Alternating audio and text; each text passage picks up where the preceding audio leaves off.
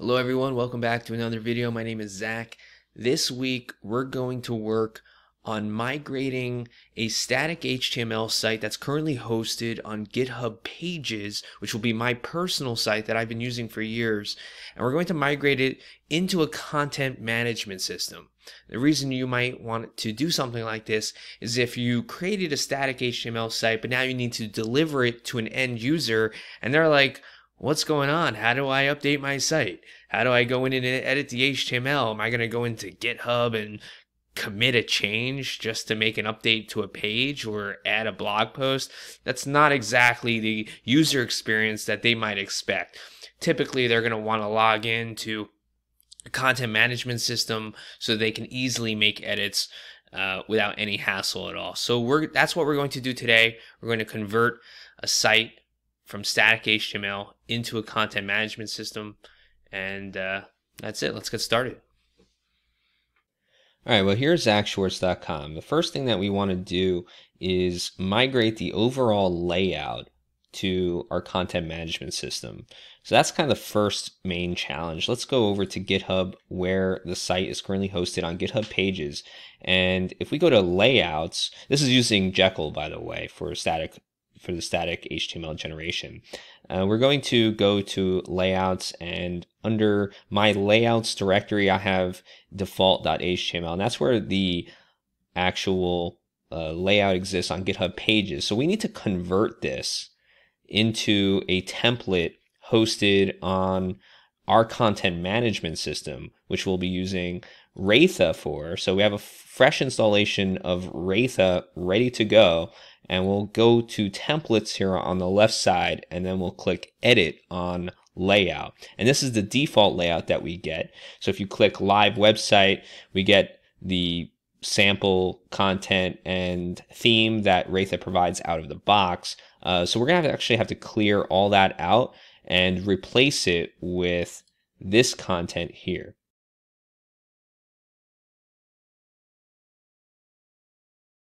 Now you may notice that we have some assets that are relative URLs. That's not going to work uh, uh, when we migrate this over to our content management system because these assets are going to continue to be hosted on GitHub pages. And it's actually totally fine to leave these assets on GitHub pages if they're uh, you know, basic JavaScript and CSS and fonts and things like that. It might even make sense just to keep it there.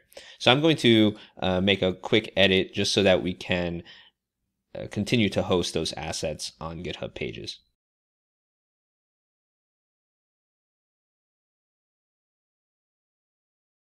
All right, let's publish our changes and see what the site looks like. Not bad at all. That was pretty quick to get most of the layout working right away.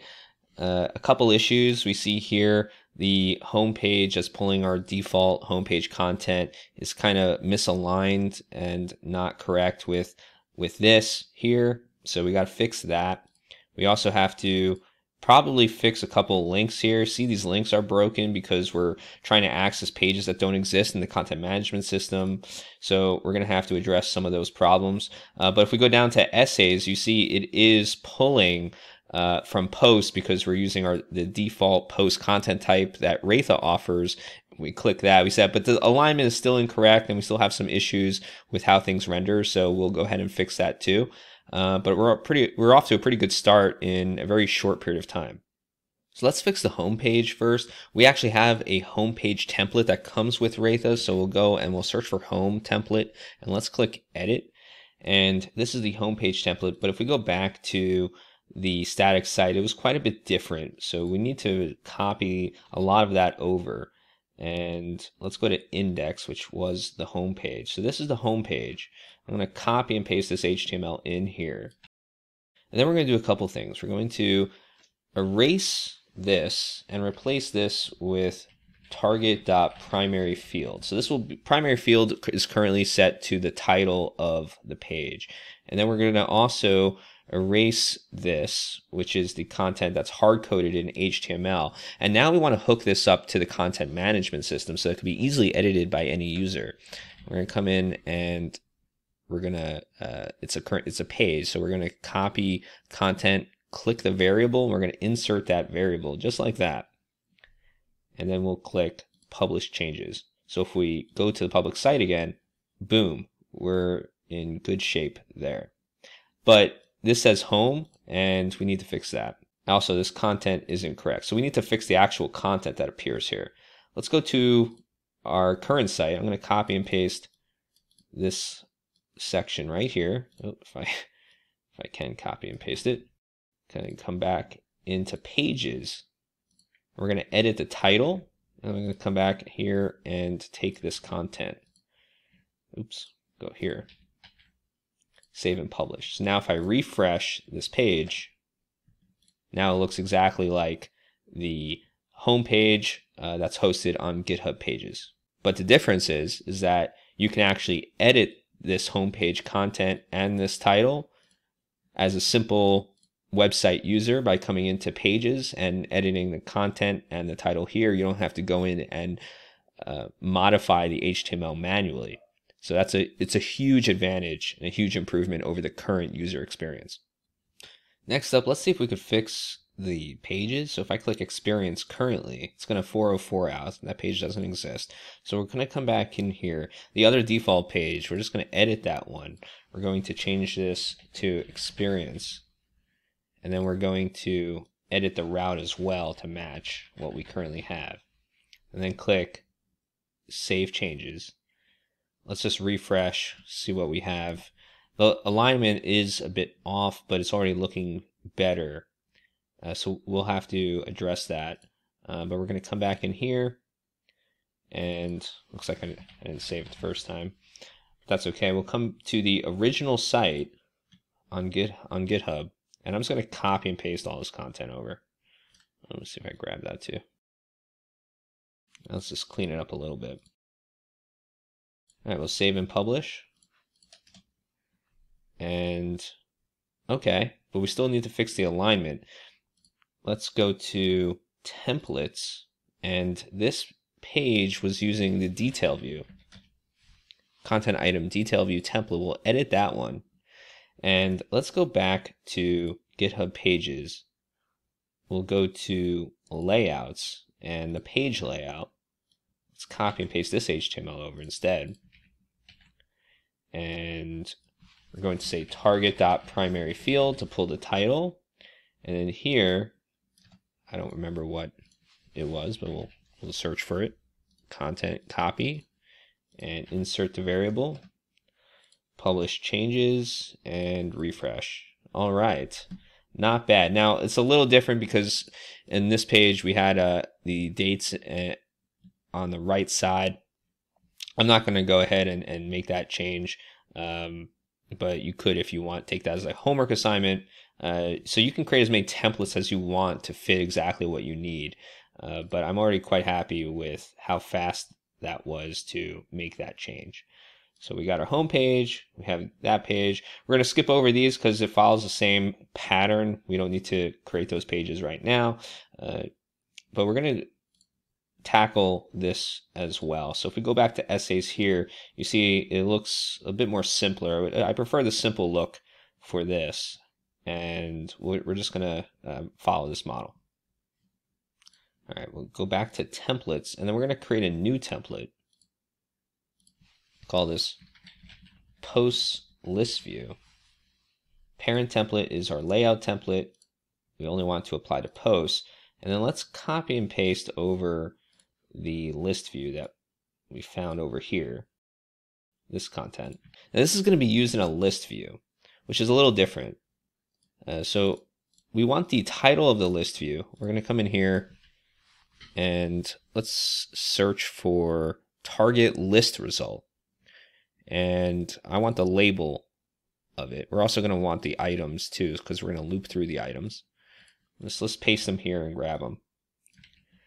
All right, so we'll put, oops, we'll put the target label up there. And here we want to say for item in target dot items because we want to loop through the different posts that we have. And then we're going to say, uh, because this is copied over from GitHub pages, Raytha has a different model. So we just need to make sure it aligns instead with Raytha. So we're going to say item dot route path. I just know that from memory, but you can search for that in here. Search for a route path like that. So don't think that you have to memorize all of that. That's that's that's crazy. Uh, and we'll say item dot primary field again for the title, and we'll just copy the same thing here. For post date, we're going to say item dot creation time, and I know this from memory. I'm just going to copy and paste this from the default OpenWater uh, list views, where this is going to convert from UTC time zone, uh, the, the date that the, the date and time that this post was created and convert it to the time zone that we have specified under our configuration settings, um, you know, as, as an admin. So that should do the trick. Let's see what happens. Nothing happened, but oh, we made a mistake. We need to go to pages because we created a new, uh, sorry, we need to go to posts because we made a new template, we didn't tell our post content type to use that template on this list view. So here's the list view. You can create multiple list views if you want to, but we're just using the default one that comes published out of the box. And we just need to say, don't use this list view, use the new one that we created and click save. Now I think it should work. And it does. Let's go ahead and do the same thing for the detail view template post detail view layout. We'll say it's only for posts. And we'll come back here and layouts, posts, and we'll grab this. All right, let's publish. And we have to go to posts and make sure that this is using the post detail view. Save changes. And let's go to live site. Looking pretty good.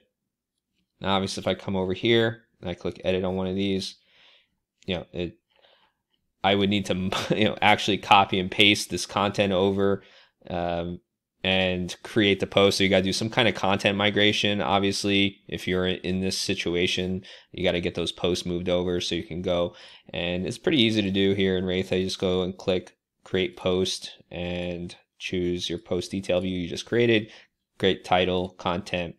And you have the ability, of course, to create all sorts of custom fields on your content type because uh, you have the full power of liquid syntax. So you can create all sorts of fields if you want to beyond just the default fields that we get. But that's a bit more out of scope for this video.